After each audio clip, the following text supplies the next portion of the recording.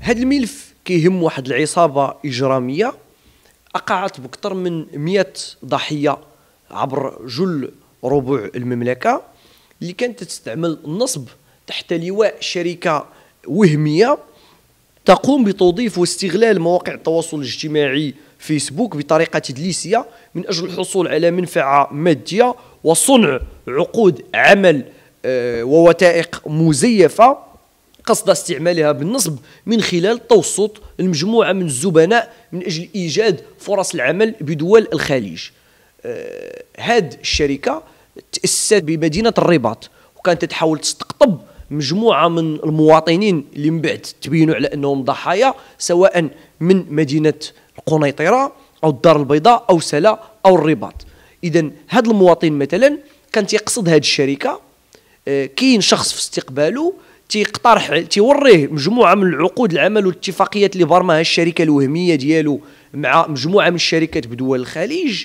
تيقترح عليه الدولة اللي هو اختار تيقترح عليه العمل اللي هو مناسبه. في المقابل الشركة كتقول للمواطن جيب لي جواز سفر سيرة ذاتية وواحد المبلغ مالي. هذوك المبالغ المالية كتراوح ما بين 5000 و 20000 درهم على حساب الدولة اللي المواطن بغى يقصد ولا على حساب آه نوع العمل اللي المواطن تيرغب يشتغل فيه بتلك الدولة.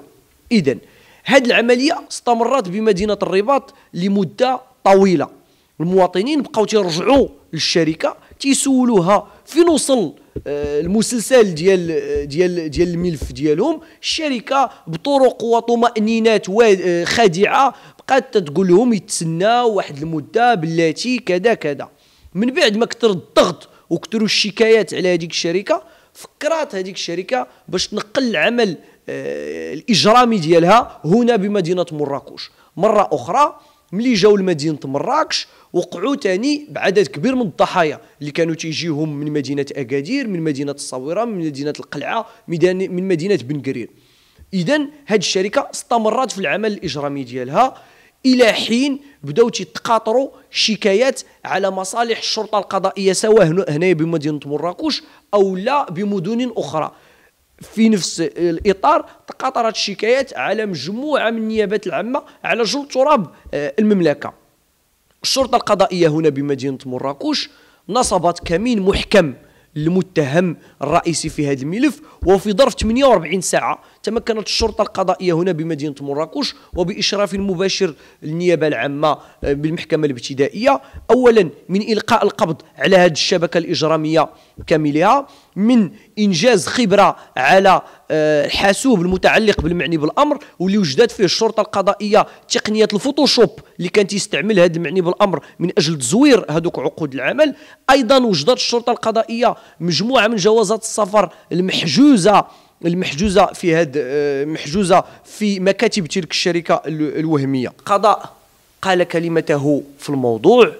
قضت المحكمة الابتدائية في بحر الأسبوع الماضي بأربع سنوات حبس النافذة في حق المتهم الرئيسي في هذا الملف وثلاث سنوات في حق المتهمين الثانيين وقضت بالبراءة في حق المتهم الأخير. صراحة هذا الحكم كان قاسي بالنسبة لدفاع المتهمين لكن كان رادع بالنسبة لنا إحنا كدفاع المطالبين بالحق المدني. ومع ذلك استئنفناه.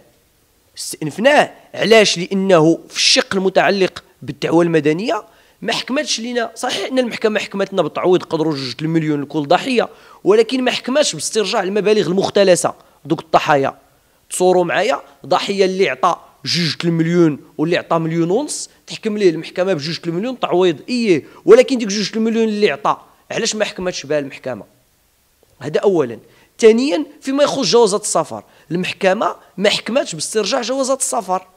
وبالتالي هاد المواطنين ولاو ضحايا مرتان. ضحايا العصابة الإجرامية اللي اللي نصبت عليهم ودات لهم جوازات السفر وضحايا تشعب المساطر الإدارية.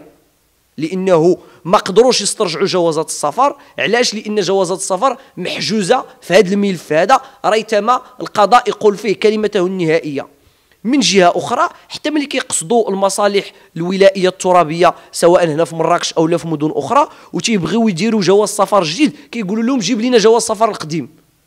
هاد جواز السفر القديم راه محجوز بين طيات هذا الملف.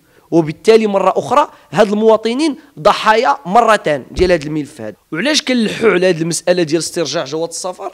لأنه كاينة واحد المجموعه اللي تمكنت انها تحصل على فرص العمل في دول الخليج ولا خرجوا لها تأشيرات عن طريق وكالات أو لا مكاتب أخرى قانونية من غير هاد من غير هاد هاد المكاتب من غير هاد المكتب اللي نصب عليهم. تمكنوا باش يحصلوا على الوثائق باش يسافروا. خاصهم فقط جوازات السفر باش يتأشر لهم عليه. وبالتالي ما تمكنوش باش ياخذوا جوازات السفر ديالهم نظرا لهذه المسألة هذه اللي عاد شرحنا دابا. مناسبة باش نشرح آه، من أجل التوعية ديال المواطنين. لأنه فعلا كاينين شركات قانونية اللي كتوفر هاد هاد هاد هاد, هاد الخدمات هادو. لكن ملي المواطن يقصد شي شركة ضروري ما خاص يلاحظ مع الدخلة على أن هذيك الشركة معلقة ال numéro de patente يكون ظاهر للعيان تيبان. ثانيا يكون عندها سجل تجاري الرقم ديال ال registre de commerce. ومن حقه يطلب الرقم ديال السجل التجاري. وبالمناسبة وزارة العدل عن طريق البوابة الإلكترونية محاكم point ma يقدر أي مواطن يدخل لهذيك l'application محاكم point ma أو البوابة الإلكترونية يطابي الرقم ديال السجل التجاري ويعطيوه واش هذه الشركة كاينة ولا ما كايناش. هذه نقطة. ثانيا إنه إلا بغيتي تعطي لشي شركة شي مبلغ مالي على الأقل ملي تعطيك واحد ال bon ولا واحد la facture ودير لك ال cachet ديالها خاص ال cachet يكون فيه عنوان. باش تعرف هذه الشركة هذه فين كاين عندها العنوان. خاص يكون النمرة ديال التصريح الضريبي. وخاص يكون النمرة ديال ال patente تكون واضحة تكون باينة. باش يعرف الواحد باللي ملي كيعطي فلوسو كيعطيهم لواحد الشركة اللي هي كاينة قانونية. ما تنساش تابونا في لاشين بالجرس باش يوصلك جديد الفيديوهات من هاد بريس.